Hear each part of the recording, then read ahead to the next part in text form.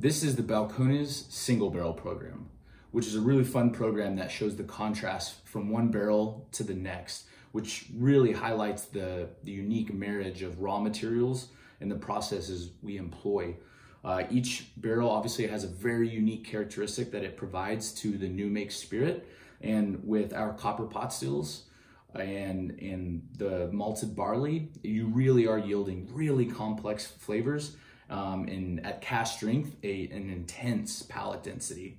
This is a, a fun exploration in the deconstruction of Balcones' single malt, being that this is the, the parts that make up the whole. So we're actually looking at European oak, which is technically Hungarian oak, French oak, and American oak.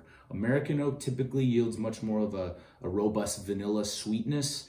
French oak, more of that dark fruit tannin quality. And then the Hungarian oak is gonna be a really fun balance between them in my personal favorite. Again, these are always um, non-chill filtered, no additives, no sweeteners at cask strength. So 62% and up um, and, and really rich robust spirits that are uh, a wide variety of flavor profiles, both sweet and all the way to savory. Cheers.